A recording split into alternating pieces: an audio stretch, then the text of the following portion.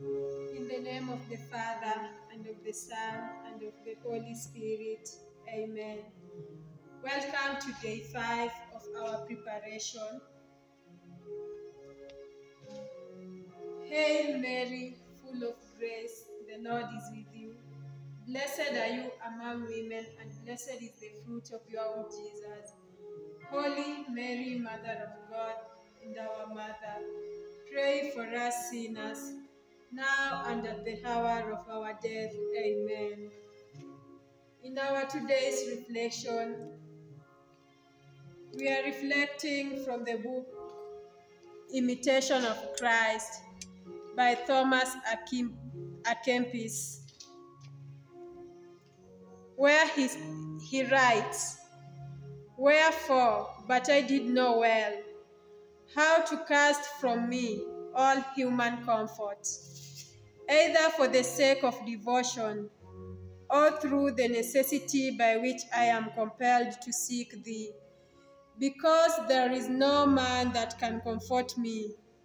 Then might I deservedly hope in thy favor, and rejoice in the gift of a new consolation.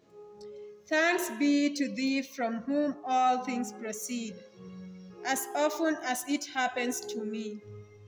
I indeed am but vanity, and nothing in thy sight, an inconstant and weak man. Where therefore can I glory? Or for what do I deserve to be thought of highly? Forsooth of my nothingness, and this is most vain. Truly, vainglory is an evil plague, because it draws away from true glory and robs us of heavenly grace. For a while, a man takes compla- complacency in himself. He displeases thee while he wants for your human applause. He is deprived of true virtue, but true glory and holy exaltation is to, is to glory in thee and not in oneself, to rejoice in thy name, but not in one's own strength, to find pleasure in no creature, save only for thy sake. Let thy name be praised, not mine. Let thy work be magnified, not mine. Let thy holy name be blessed, but let nothing be attributed to me of the praise of men. Thou art my glory. Thou art the exaltation of my heart. In thee will I glory and rejoice all the day. But for my life, I will glory in nothing but in my infirmities.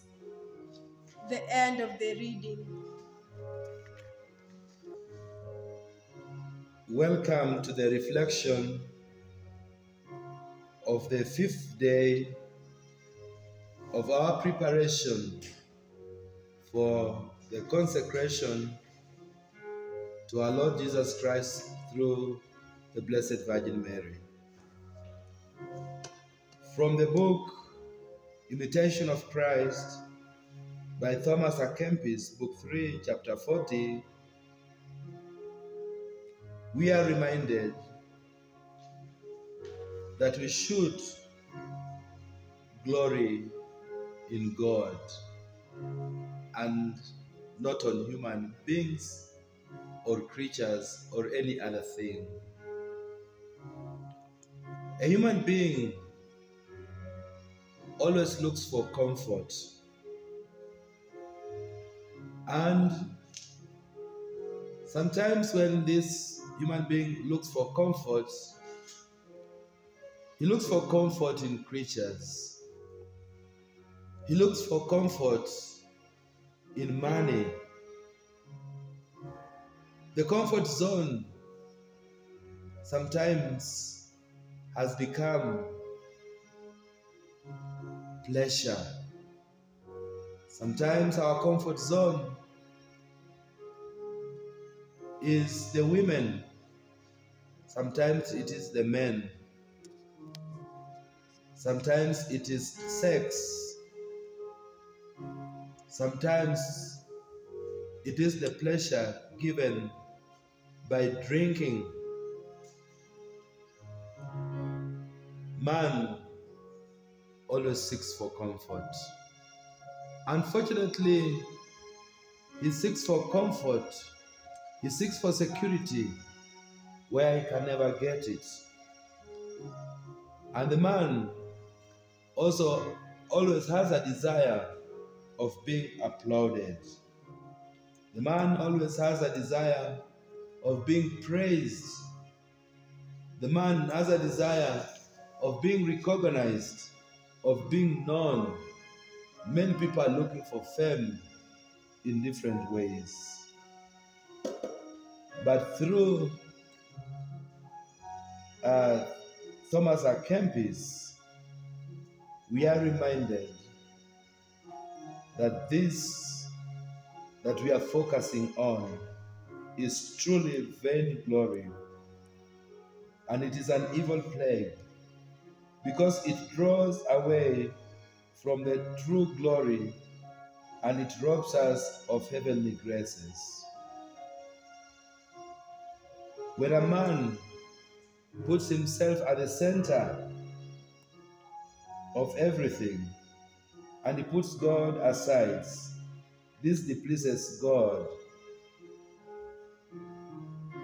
And that is why you and I, who are preparing to consecrate ourselves to Jesus through the Blessed Virgin Mary,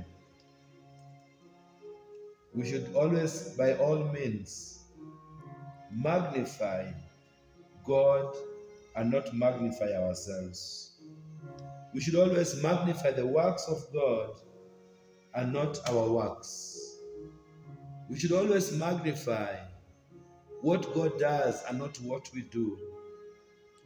And for the many times we've seeked for applauses, for the many times we've wanted to be magnified, for the many times we've wanted to be at the center of everything.